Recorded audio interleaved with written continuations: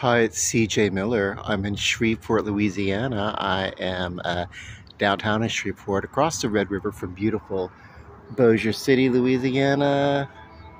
And uh, I am checking out the moon, and I am finishing off my nightly walk in the um, Asian gardens that we have here.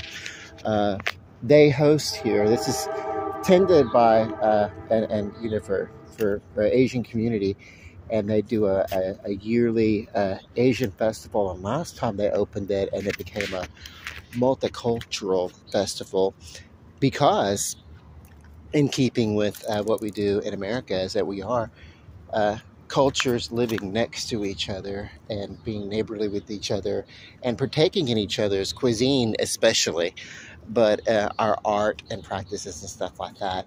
And when it happens naturally like that, it is not appropriation. It's appropriation when those things happen for the point of exploitation and oppression. But uh, yeah, no, it's great. Uh, and uh, I'm wearing dark glasses, so I can't see how well this is reading. uh, but yeah, I love a good calm walk at night. I went, oh, I guess I've been, yeah, I had a good walk. Good walk. I enjoy it. I enjoy it.